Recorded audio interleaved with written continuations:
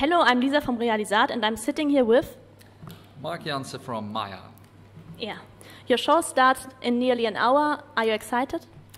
Absolutely. It's been a while that we that we yeah played our last show, and uh, so it's about time again. Yeah.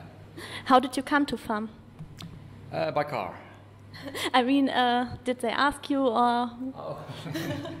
um, yeah, they, they invited us and they, they told us about uh, the, the concept, about the idea, and uh, yeah, we we thought it was a cool uh, festival to play, so we said yes.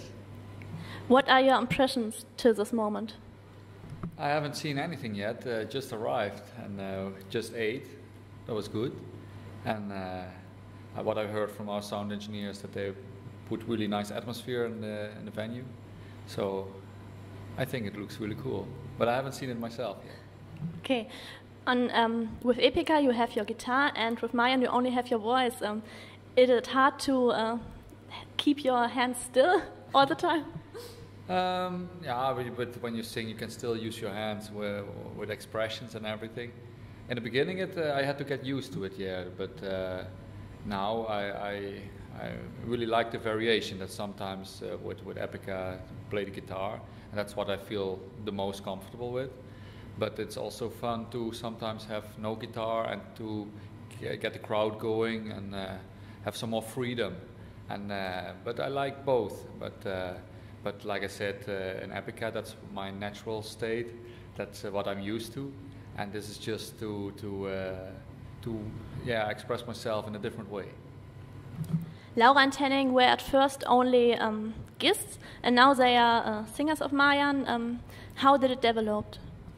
Uh, yeah, first we, we started more like a like a project, but then we we started touring. We became a real band, and it felt also really good to have these guys with us. And uh, then we thought, let's just uh, ask them if they want to join the band, and then it also feels more like a real band instead of a project. And that's why we also recorded the second album with them as well.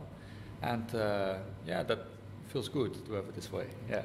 Laura is not only um, your singer, but your girlfriend. Um, does it influence your work? No, because we uh, we both very professional and uh, uh, we we do the things exactly. Uh, we we treat each other the same way in the band like any other person in the band, and uh, we keep private life separate from being in a band. So that works well. And I think as long as you don't do too intense touring, it works works fine this way. I wouldn't like to be to have a relationship in the band if the band would be touring all the time all over the world because then uh, then it's very hard to keep private life and uh, the band separated. Yeah, um, you're writing nearly all texts. Um, how and they are very critical. How important are the lyrics for Mayan?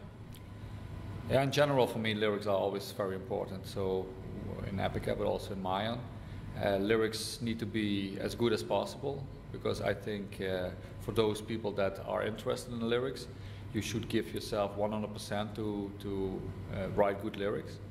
And uh, I think the music gives a certain atmosphere, and when, when you create lyrics that fit well to that atmosphere, uh, if you really work well and hard on it, then you get a, great end result.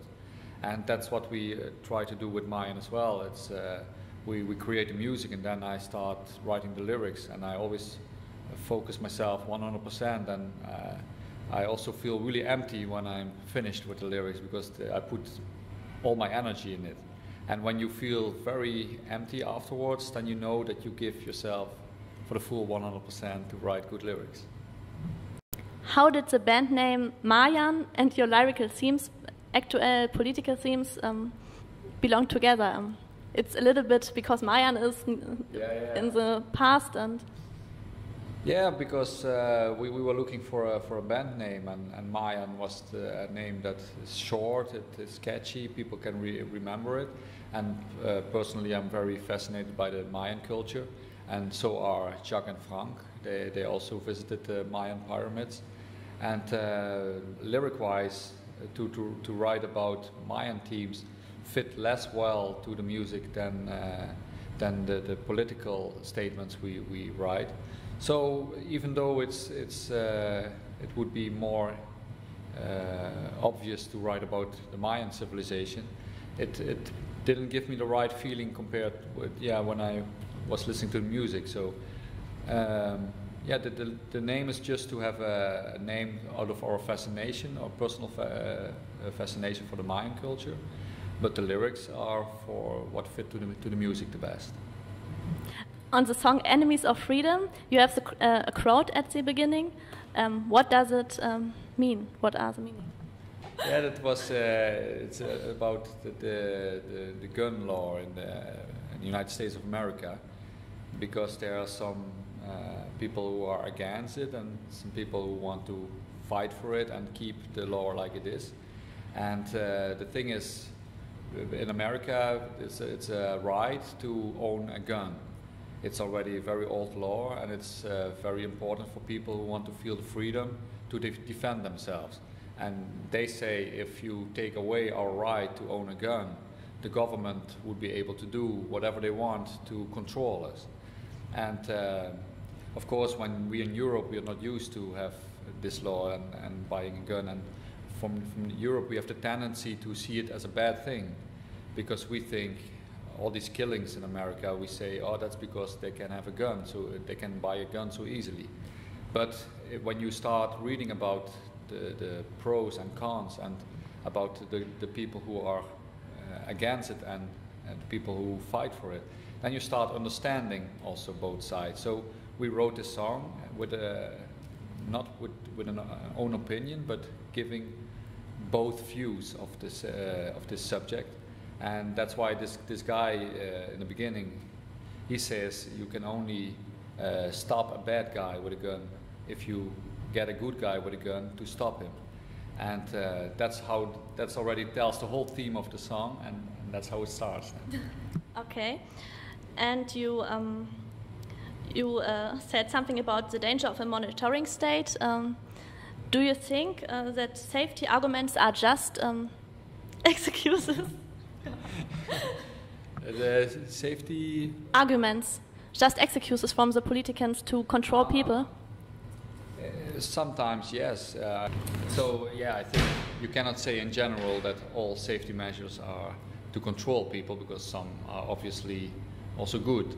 But sometimes it's, it's used to uh, push laws through uh, just in order to, yeah, get things done and, and control people. Like, for example, uh, after 9 11, uh, there were so many restrictions with flying and everything. And uh, I personally think that not everything was really needed. And for example, if you buy, if you yeah, just have, have a water, you cannot bring it with you uh, after the security check. And then there you, you have to pay three euro fifty for a silly bottle of water. And this, these kind of things, I think it's uh, insane. And such kind of things really bothering me and uh, there's always a balance between uh, what's really needed and uh, to yeah for the people to feel comfortable and I think this balance is now not yet restored. What do you think about social media?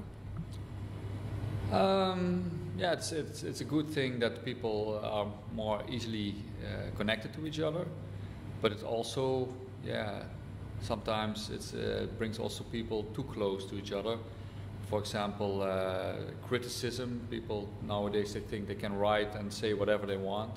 Of course, we have uh, freedom of speech, but people get mad right away, write whatever comes to their mind, and that can sometimes really hurt. I, I don't say personally to me, but also to to others.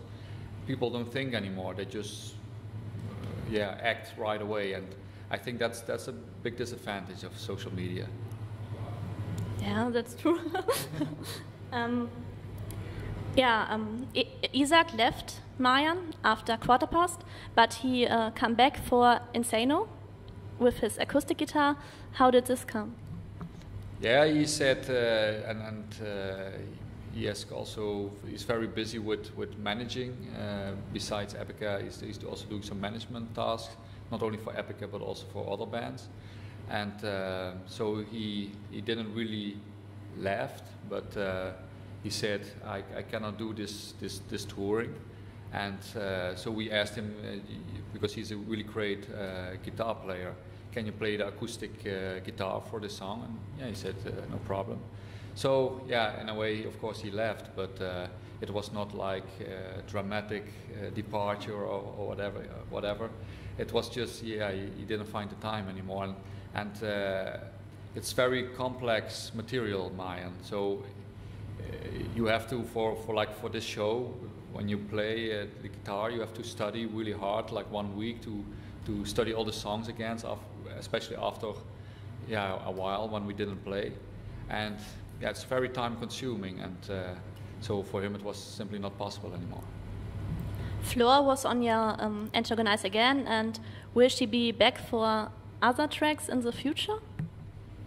We don't know yet. We, we have to, to start writing the next album still, and uh, we also don't know when we start writing, who will be exactly singing on it. Um, yeah, we, we just don't know yet. But there will be another album? Probably sooner or later. I, I, I don't know when, but uh, and I don't know if for sure because we, we simply don't know yet. But my feeling says there will be another album, but it can take uh, three years, five years, seven years, I don't know yet. Okay, at this time you're touring with Epica. Um, will there be another Mayan tour after that?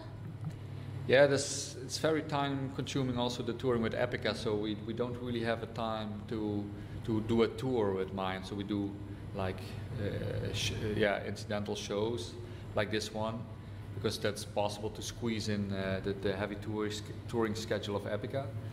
But uh, if there ever is a chance and if ever Epica is taking it easy, then for sure we will step in and uh, do some, some more touring with Mayan. But as long as uh, Epica is uh, on the road uh, like this, there, there won't be a chance for a for Mayan tour. Yeah, last question. Um, Antagonise has a very straight line and you say um, doing antagonize. So, um, what do people do in your opinion? I, you, um, what can we do? What can we do about what? Against um, political. Um, ah, okay, okay, yeah, um, yeah. The reality is we cannot do that much. but what, what we can do is uh, contributing a little stone to the to the mountain and uh, every little stone can make in the end a, a, difference so it's not that one individual can change the world but uh, if somebody tells a, tells a story or an opinion and somebody else starts thinking about it and uh, also tells his opinion then you can have this uh, uh, yeah continuation and in the end like yeah make the difference do we have last words Bye. okay. Thank you very much. Thank you too.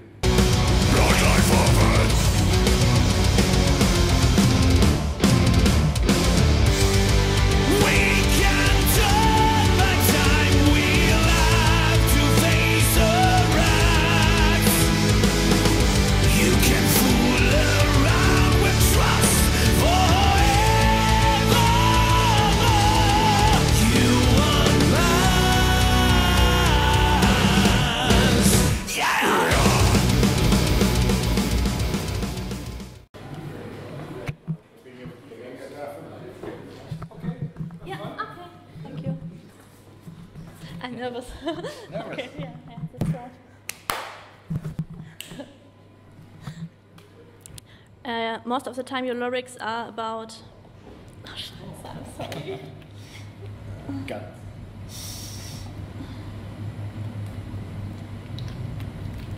Oh God. Yeah, your lyrics are about political themes, um, lying politicians, and so on. How did it? Um, um, I just start again with that with that question. On the um, sorry. On the song. um, of the guy that is talking in the beginning. Um, yeah, of course. Only uh, only a good guy. Yeah, yeah.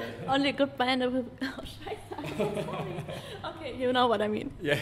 Uh, you cannot say in general that all safety uh, things are.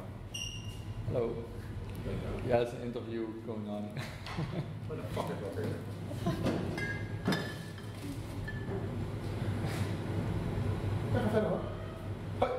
yeah, you're standing in the.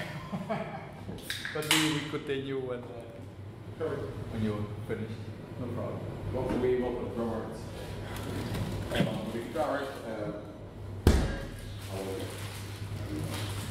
good. Thank you. Thank you.